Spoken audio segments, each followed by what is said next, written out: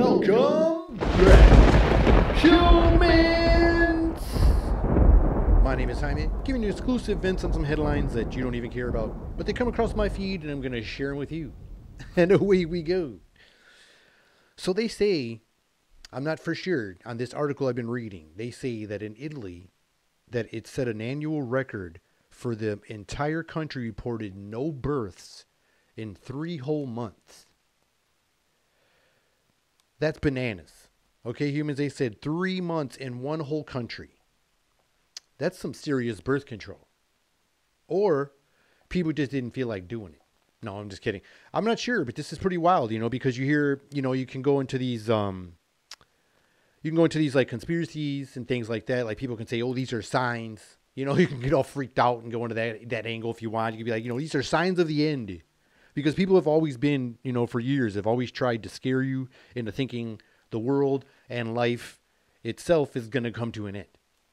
And you know, when things like this come out in the articles, which could be some rare formity, it could probably happen more times than than we know about. But now that everything is so flooded in the media, I mean, it probably just you know now it's something that we're all like, oh my gosh, this is new, you know, and uh, this could be one of those type of things. This could be something that happens more than more than we know but it is something to think about, you know. But I'm not trying to, I mean, not like fear wise, okay? Like I said, with these, um, you know, it's kind of concerning because, like I said, I love a good conspiracy and everything like that. But when people start to do these things and put certain, you know, like um, pieces of the puzzle together, you start getting a little worried sometimes. Like, wait, this don't seem so.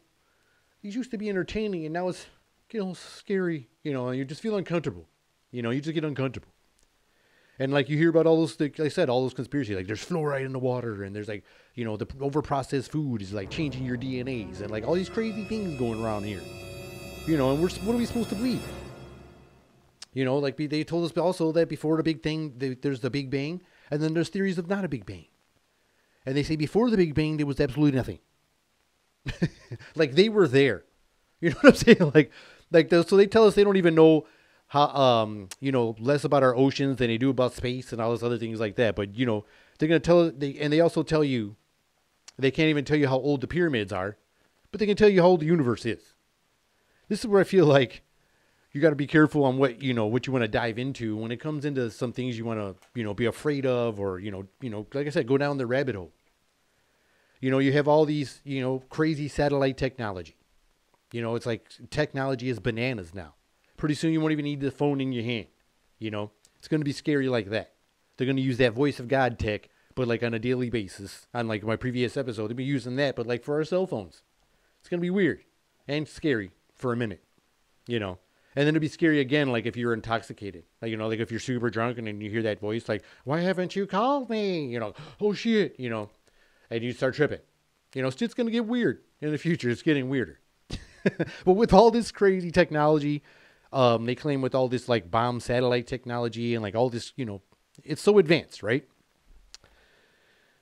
But your phone doesn't work when you're like wide open in a clear view of satellites. Like you could supposedly see them flying when you're up north camping. You could see all the stars look like just a jar of glitter just poured out everywhere. And then you see these things flying by and they're flashing. They're like, oh, those are satellites. You know, it's like awesome. You know, I'm probably gonna get the best, you know, the best network right now. But no, your phone sucks right there. so that's why I feel like, what are you supposed to believe? what are you supposed to believe right there? These come from the same people that also stated that UFOs or UAPs, whatever initials they want to call them this time, were our first sightings back in the day were reflections of swamp gas. so why do I bring this up? You know, like why do I bring all these wild things up? I feel like a lot of these things, like you know, a lot of times they come up all the time. Like these are just like diversions and distractions. These are like sleight of hands to me. You know, because it's like, while you're too busy, you know, fighting your crazy, gay, Nazi, racist, liberal neighbors, these guys are committing gigantic crimes on like immeasurable levels.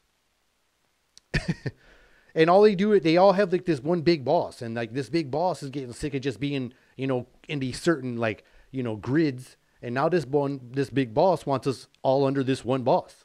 And I think that's what's going down here. Like these all seem to be big scenarios to use us, use as, um, you know, collateral to make these next big moves of more power. Well, my name is Jaime, And this has been another episode of Meant to Vent. Till next time, humans. See ya.